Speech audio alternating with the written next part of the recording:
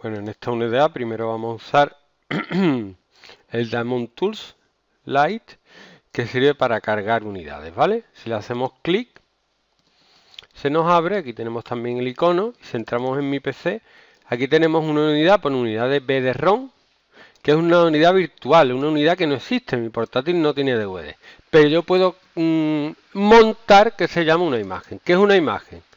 Pues una imagen es un archivo que te puedes, por ejemplo, descargar de internet de un DVD. Es decir, es un DVD descargado. Y yo tengo aquí un DVD descargado, ¿vale?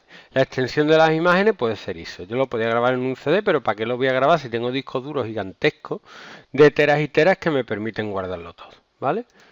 Voy a cerrar esto. Entonces dice, montar la imagen ISO, grabarla. La puedo grabar en un CD o un DVD, pero imaginaros que no tengo CD un DVD o no quiero, ¿para que voy a gastar un DVD si la puedo montar? Entonces, teniendo aquí la imagen que vosotros vais a tener el archivo ya, le doy aquí, E vacío, porque ahora mismo no hay nada en la unidad E. No es que no haya nada, y le voy a meter el DVD, pero virtual. Voy a darle con el botón derecho a ver si me deja. Mm. No, me deja desde aquí. Nada, desde aquí. E y me dice busca la imagen. Busco la imagen en la carpeta donde la hayáis copiado y le hacéis doble clic el archivo ISO. ¿Qué pasa? Pues que automáticamente se me carga como si hubiera metido el DVD y se me abre esta ventana preguntándome qué quiero hacer, ¿vale?